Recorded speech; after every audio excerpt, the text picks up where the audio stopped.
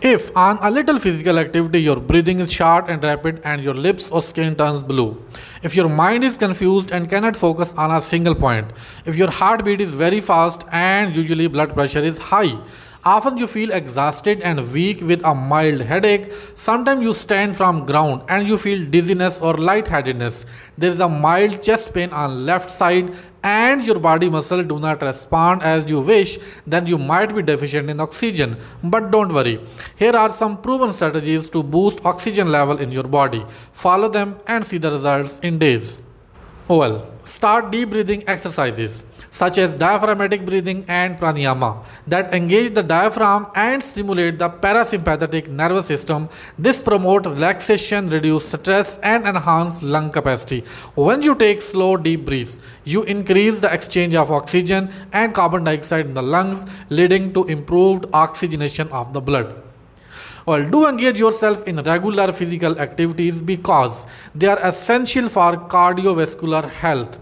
Exercise increases the heart rate, improving the efficiency of blood circulation.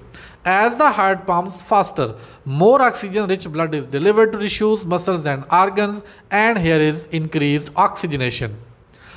Drink plenty of water. Well, staying hydrated is vital for maintaining the viscosity of blood. Proper blood viscosity ensures that red blood cells can flow easily through blood vessels, promoting efficient oxygen transport. Well, the nutrients such as iron, B vitamins and antioxidants play key roles in maintaining healthy oxygen levels. Iron is a crucial component of hemoglobin, the protein responsible for binding to oxygen in red blood cells. Consuming iron-rich foods such as lean meats, spinach and lentils supports the production of functional hemoglobin. On the other hand, B vitamins are involved in red blood cell formation and energy metabolism, ensuring that oxygen is efficiently transported and utilized.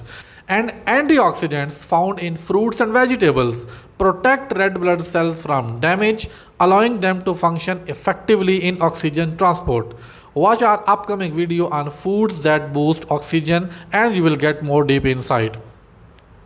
Do sleep 8 to 10 hours in a single shot.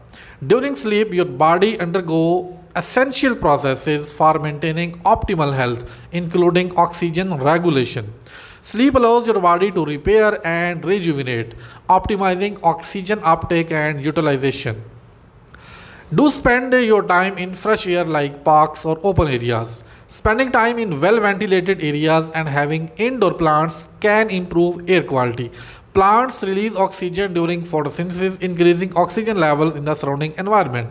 This can have a positive impact on indoor air quality, enhancing the oxygen content you breathe in and support better oxygenation of your body's tissues. Well, stress is your enemy. Keep in mind. Chronic stress can lead to shallow breathing and reduced oxygen intake.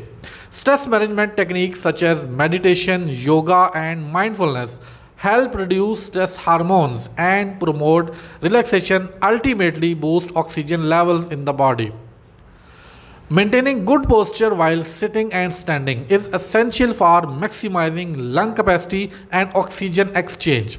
When you have proper posture your lungs have more space to expand fully allowing for efficient oxygen intake Tobacco smoke and environmental pollutants can damage lung tissue and decrease lung capacity. Smoking restricts the airways, making it harder for oxygen to reach the bloodstream. Pollutants can also irritate the respiratory system, leading to inflammation and decreased oxygen exchange. By avoiding smoking and minimizing exposure to pollutants, you can protect your lungs and ensure efficient oxygen uptake. Well, altitude training involves exposing yourself to higher altitudes where oxygen levels are lower. This challenges your body to adopt for producing more red blood cells, a process known as erythropoiesis. With increased red blood cell production, your blood's oxygen carrying capacity improves, enhancing oxygen delivery to tissues and muscles. However, altitude training should be approached cautiously and gradually to avoid negative health effects. Remember, small changes in lifestyle can have a significant impact on your well-being. Thank you for joining us. Like, share and subscribe for more informative content.